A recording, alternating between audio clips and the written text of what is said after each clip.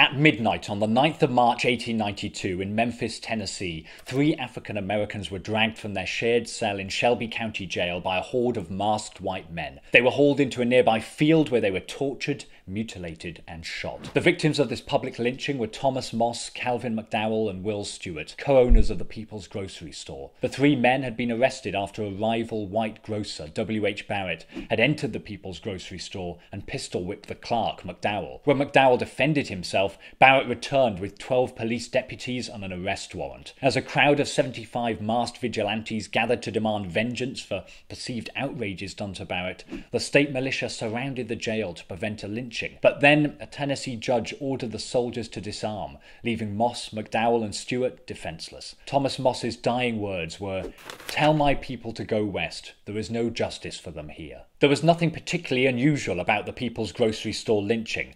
Lynching was increasing year on year. Where this event does differ, however, is that among the grieving black population of Memphis stood a rising civil rights activist, newspaper editor, and personal friend of the murdered Thomas Moss. Her name was Ida B. Wells, and her subsequent campaign against lynching was to have repercussions that echo to the present day.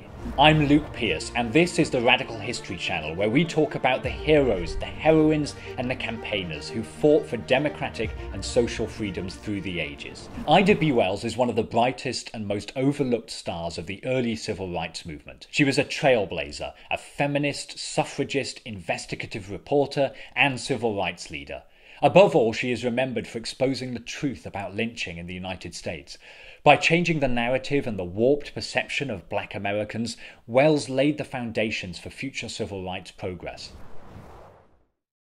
Wells was born a slave in 1862 in Holly Springs, Mississippi, and freed after the end of the Civil War. She was raised by politically active parents who instilled in her the importance of education. She began to exhibit a radical spirit at a young age. She was expelled from Rust College after challenging the university's educational policy. When her parents died from yellow fever, the 16 year old Wells became a teacher in order to keep her younger siblings together. Her sense of self determination drew dislike within the African American community where she was condemned for violating traditional patriarchal etiquette. Irked by this injustice, Wells became even more determined and moved the family to Memphis, where she found teaching work. It was in Memphis, aged only 21 and 75 years before Rosa Parks, that Ida B. Wells refused to give up her seat.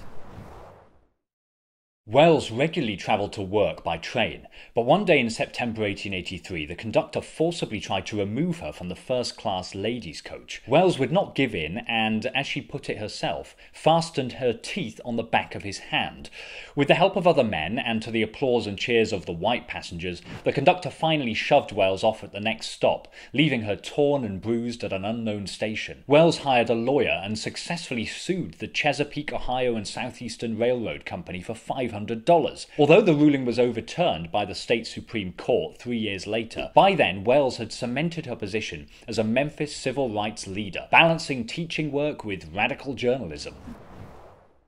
After Wells started writing articles criticizing radical inequalities within the education system, she was fired from her teaching job in 1889. But as the newly elected secretary of the Afro American Press Association, this gave her the time to pour herself into the Memphis Free Speech, an African American newspaper dedicated to tackling racial injustices. By the time of the People's Grocery Store lynching, Wells was already part owner and full time editor of Free Speech. The lynching of Moss, McDowell, and Stewart lit a fire under Wells and sent her on a crusade against lynching that would last until her death. Wells wrote a blistering editorial demanding the arrest and conviction of the lynchers. She wrote that the events surrounding the People's Grocery Store opened my eyes to what lynching really was an excuse to get rid of Negroes who were acquiring wealth and property and thus keeping the race terrorized. When the white authorities refused to bring the lynchers to justice, Wells decided to play the whites at their own game. If economics was what truly mattered, then she would hit them where it hurt. She wrote, The city of Memphis has demonstrated that neither character nor standing avails the Negro if he dares to protect himself against the white man or become his rival. There is nothing we can do about the lynching now, as we are outnumbered and without arms. There is therefore only one thing left that we can do save our money and leave a town which will neither protect our lives and property nor give us fair trial in the courts, but takes us out and murders us in cold blood when accused by white persons. In response, 6,000 and African Americans left Memphis within two months, stagnating the city's economy. After three months, an unprecedented meeting of white citizens passed a resolution condemning the lynching, but not punishing it. It wasn't enough. To address lynching on a broader scale, Wells had to change the way that it was understood. To do that, she had to alter perceptions of African Americans. In her first pamphlet, Southern Horrors, Lynch Law in All Its Phases, she wrote, Somebody must show that the Afro American race is more sinned against than sinning, and it seems to have fallen on me to do so. The Afro American race is not a bestial race. If this work can contribute in any way towards proving this, I shall feel I have done my race a service. Lynching was bound up in a narrative of chivalry, in which white Southerners justified the murder of black men by claiming they were avenging the honour of white women who'd been raped. This bogus chivalric narrative cast African Americans in the role of villains, and their lynchers as noble vigilantes. Wells argued, humanity abhors the assailant of womanhood, and this charge upon the Negro at once placed him beyond the pale of of human sympathy. The trope played into a generalized perception of black American men as violent and dangerous. Wells theorized that in many cases, black Samsons were betrayed by white Delilahs, women who had entered consensual relationships with black men and only cried rape when they were caught or forced to do so. The only way Wells could prove such cases was by personally visiting lynching sites and submerging herself in accounts, photographs, and physical evidence. The courage of her decision to do this can't be underestimated. As a lone black woman in a racist society with no protection from the law, Wells went into communities that had condoned murder and started asking questions that no one wanted to answer.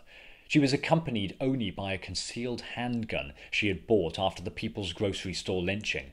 She said, I had already determined to sell my life as dearly as possible if attacked. I felt if I could take one lyncher with me, this would even up the score a little bit. Despite threats from white newspapers such as the Daily Commercial and the White Scimitar, Wells persevered. She narrowly escaped a lynching herself when the Free Press offices were burned to the ground. After three months of investigations, Wells published her research in graphic and horrifying books and pamphlets. She reported that 728 African American men and women were lynched between 1883 and 1891. While a third of them had been charged with rape, Wells confirmed that many of those cases were in fact consensual relationships. Among other heinous crimes, one man was killed for writing a letter to a white woman, one for throwing stones, another for having smallpox. Six men were lynched for the crime of self defense under attack. Wells has been described as an early data reporter, one of the first people to tally the lynchings and their causes.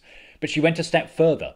By putting names, stories, and context to her lynching statistics, she helped to correct the perception of the victims as miscreants representative of a degenerate race. And in doing that, she challenged the narrative used by racists to suppress, terrorize, and control African Americans.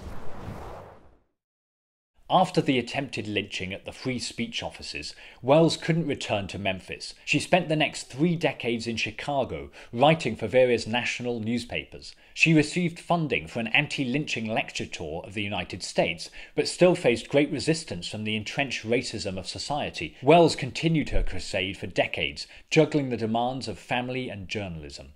She targeted legislators, tirelessly lobbied Congress for anti lynching laws, and corresponded with Presidents McKinley and Wilson.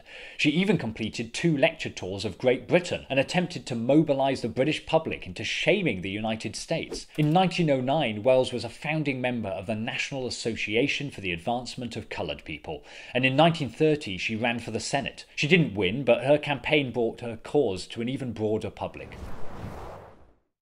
Ida B. Wells saw herself as a crusader, a holy warrior, and she welcomed comparisons to Joan of Arc. She was happiest leading from the front, which was both one of her great qualities and faults. Wells struggled to cooperate effectively with other civil rights leaders or participate in organizations where she wasn't the head. She may have helped found the NAACP, but she was considered by many within it to be too militant and dangerous, too unwilling to compromise or to tolerate opinions contrary to her own. Wells was a leading voice in the campaign for female suffrage and even chose to keep her own name in marriage, but she was disowned by the white suffrage movement after she revealed the role of white Southern women in the rape allegations against black men. She was, as the African American historian Thomas Holt describes her, a lonely warrior. Perhaps this is a reason why she was relegated to the footnotes of history, or perhaps it's just because she was a black woman who dared to speak out. On the surface, Wells failed because lynching was still a significant problem long after her death. But in reality, she was a trailblazer who raised national and international awareness of lynching and the demonization of African Americans with long lasting effects. Her investigative journalism was groundbreaking in its own right. Her rhetorical skill matched Martin Luther King's, and her run for the Senate foreshadowed the successes of Carol Moseley Braun, Barack Obama, and Kamala Harris. She even breastfed between speeches, like New Zealand's Prime Minister Jacinda Ardern. The killers of the People's Grocery Store owners may never have been prosecuted, but thanks to a campaign whose origins we can trace all the way back to Ida B. Wells, George Floyd's killers were. Today's Black Lives Matter protesters echo Wells' words that those who are silent do not see that by their tacit encouragement, their silent acquiescence, they are accomplices, accessories before and after the fact. The great abolitionist, reformer, and statesman Frederick Douglass wrote a letter to Wells after the publication of her first pamphlet.